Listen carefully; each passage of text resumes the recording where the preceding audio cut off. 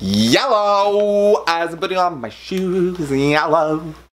2019. Okay, 2019 started. That's fair. You know, it's fresh. We don't know who's in, who's out. 2018, on the other hand, was absolutely the year for Mr. Timothy Hal Chalamet. He is beyond greatness. He is so superior to the point where I like I watched Call Me by Your Name, like the movie that he's in where he got his like big name from.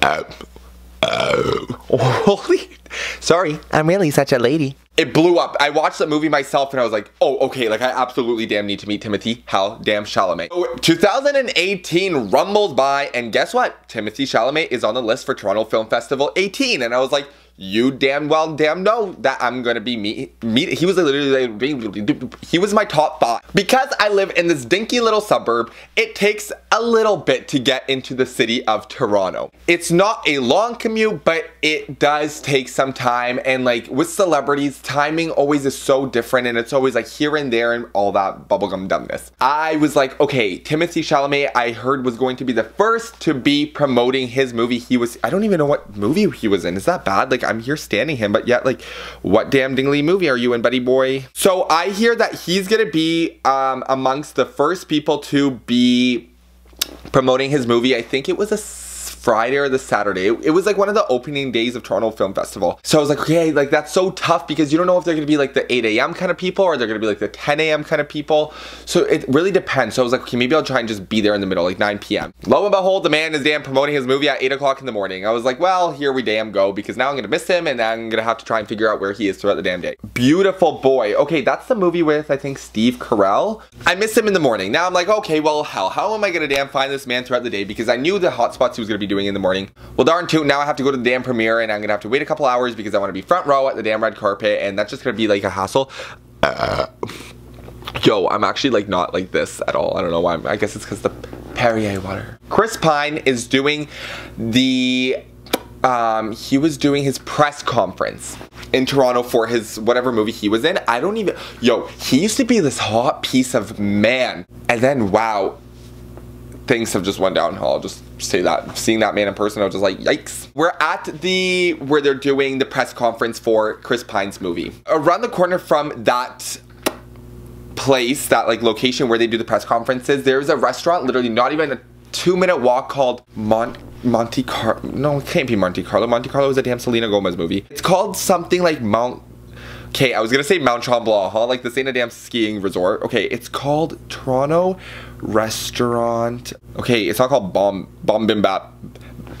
Bap, bum, bap. Montecito. Yes, Montecito and Adelaide. Adelaide and John Street. Okay, so this is gonna sound really weird. Like I'm gonna have to try and piece the puzzle together what in order to explain the story. This, okay, on the street of where the press conference for Chris Pine was happening, there was like a bunch of SUVs lined up. Prior to that, my friend had texted me like, okay, this is gonna sound so creepy, but like when it comes to celebrity hunting, for anybody who does celebrity hunting, y'all know, like you know when you need to get this information, you need to. So they text me Timothy Chalamet's car license plate that he has been, he had been traveling in that morning. So they were like, if you see it anywhere, that's him. Lo and behold, what do I see right where Chris Pine's thing, press conference is happening? On the street of all the es Escalades. Mr. Timothy Hal Chalamet's damn license plate car number, what a ding, and I forget what it was, but his license plate was like probably Barbie, I think you're gnarly. Sorry, I'm getting off topic. Nicki Minaj, Onika Tanya Maraj, good form featuring Lil Wayne, buy it on iTunes today. Thank you. I see Timothy's car parked. I'm like, Okay, this has become my lucky day. I am literally not moving my darn tootin' damn eyes from that car. That car, the second that car turns on, so do these damn legs because I'm about to damn run with this car. What happens? The darn tootin' car turns on. My friend was like, okay, keep an eye out. If you see it moving, let me know. But like, I'm trying to get Chris Pine right now. I was like, okay, like, I get it. Like, you, you got Timothy in the morning, but um, you prioritize. It's, it's hard. Like, once you get somebody, you want the other person. I'm like, the car starts to turn on, starts to slowly move, but the car's empty. Nobody's in it. So I'm like, oh my God, like to my friend, I'm like, it's leaving. They were like, George, do it. Go for it. Text me, call me, or like, like figure out where it's going. Let me know where the car ends up. The car starts moving and I'm like, okay, well, so does this damn body because I ain't missing my chance. I, I'm like, oh, honestly, like literally the only time you'll ever catch this man running me is A, if I'm at the gym with like energy and I'm on the treadmill, or if I'm running in danger from a damn killer. The car starts moving. It's like literally going. It turns right onto this one-way street, Adelaide. Anybody in Toronto knows that Adelaide is a damn one-way street the west side of it at least. You best believe I'm gonna be huffing and puffing going with this damn car. But then it stops. in front of Montecito, this restaurant, which is, like I said, nearly a two minute walk from where this press conference was happening. So there was no way I had continued running. I was like, didn't break out a sweat, but pretended I damn broke out. So I was like, yo, that was a long run, even though it was less than 30 seconds. I couldn't believe it. I'm like, he's literally having lunch right now. As soon as I pull out my phone to be like to my friend, like, hey, who do you think opens the door of Montecito restaurant here in Toronto and just happily walks out casually with his cute little sunglasses.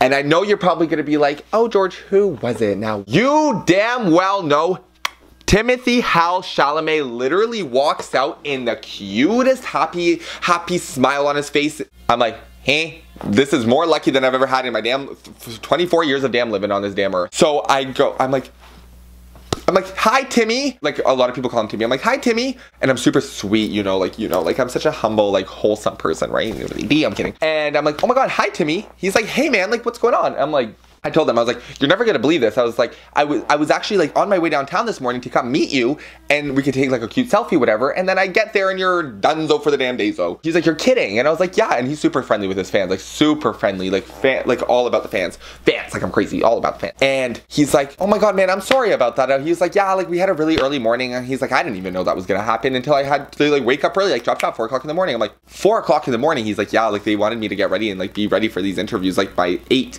I was like, that's crazy because you know my ass would have been like 7.30, okay, let's get up, put on some clothes and let's hit the hay. He's like, yeah, so he's like, how was it? Yeah, it was a quick conversation. Like I'm trying to make it like I'm elongating this damn story, but it's actually like a very quick. He's like, how was your day been? I was like, it's pretty good. I was like, it's kind of decently hot outside and I'm like wearing jeans and it's just like, it's kind of uncomfortable. But other than that, like, I mean, I found you and I was like, I'm so happy that like I got to meet you.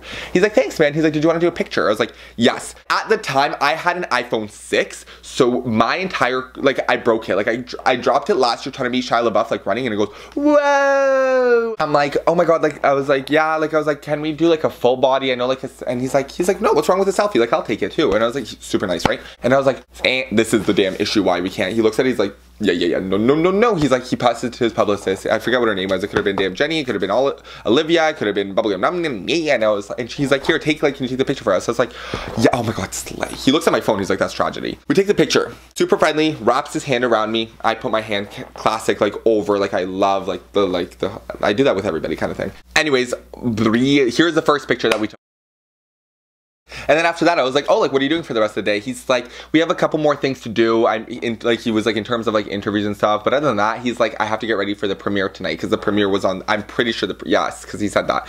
So I was like, oh my God, I'll be like coming to the premiere. I have to go. And I actually did go, I didn't go to like meet him because you had to have like waited prior in line and all that stuff. I was like, I'll come say hi. He's like, yeah, yeah, yeah, come in. He's like, well, well like I'll walk around. I'll come see like what's what's Guanin. And then I ended up making it, but I was so far like in the, like in the audience, not audience, but like there was like a huge thing, and I was just like so far. I was just like, King, like literally raspiness, losing my voice, like King. So and then he gets in the car and he's like, see you later. He rolls down his window, and as I'm like walking away, it was like kind of awkward because he had to get onto like Adelaide, and I had to like walk the way his car was like getting out. And then we were just like awkwardly there, and, I'm, and I like to, and I told him I was like, I'm sorry, and he's like, no, he's like, I'll see you later. I was like. Bye, like so awkward because like he was, you know what I mean? Like his window was rolled down. He was on the side of me trying to like wait for his car to move, and I was, I should have been like, "Can you tell your driver to move it or lose it, Bucko?" That's the end of my story. Meeting Timothy Hal Chalamet, aka the legend, him damn tartan dude south. For anybody who's watching my video, if anybody's ever damn tune watching my videos, I will talk to y'all later. TTYLs.